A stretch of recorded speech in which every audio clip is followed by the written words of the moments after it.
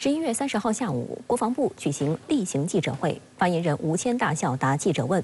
其中有关中美两国防务部门沟通落实两国元首共识以及福建舰的话题尤其引人关注。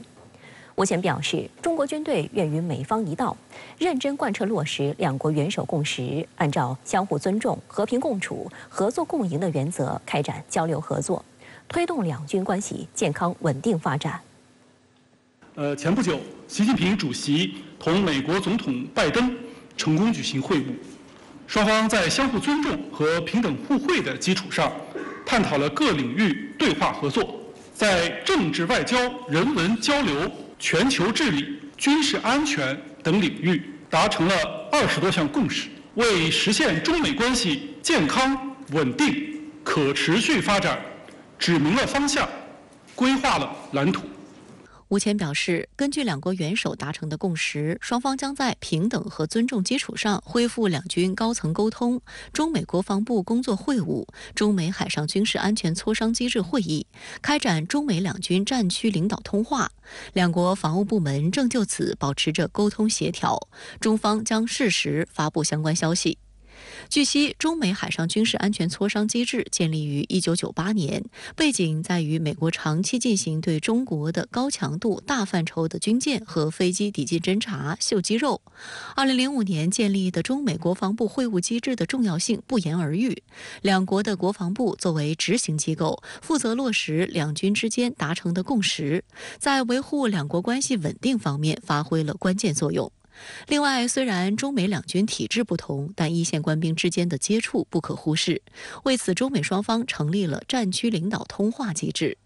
十一月二十四号，刚刚上任不到一个月的美国海军作战部长弗兰凯蒂在访问韩国釜山期间，就对媒体表示，他对有望加强同中国军方的沟通感到振奋，后续发展还要同中国军方协作落实。Additionally, the PRC agreed. To resuming telephone conversations between theater commanders.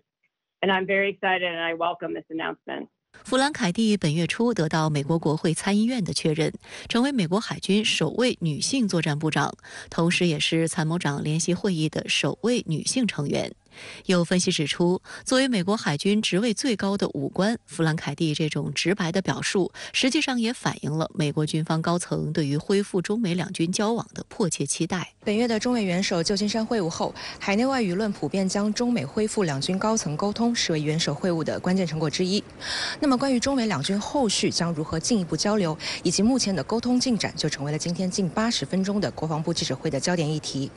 发言人吴谦表示，中美两军高层。恢复沟通前，还有一句至关重要的话，那就是双方要在平等和尊重的基础上恢复沟通，这是一个基本前提，也是美方的应有之意。最后还是那句老话，希望美方言行一致。不过，值得注意的是，美方还在台湾问题上继续搅局，仍坚持对台军售。美国2023年度国防授权法案对台提供无偿军援。对此，吴谦表示：“我们坚决反对美方向中国台湾地区出售武器，要求美方言行一致，将不支持台独的表态落实在具体行动上，停止武装台湾，停止损害中方核心利益。台湾问题是中国内政，不容任何外来干涉。”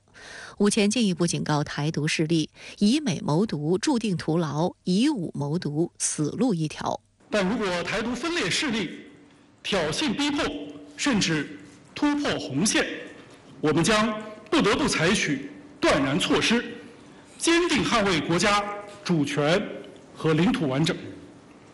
这是十四亿多中国人民的坚定意志，也是中国人民解放军的神圣使命。以美谋独，注定徒劳；以武谋独，死路一条。无论谁想把台湾以任何形式从中国分裂出去，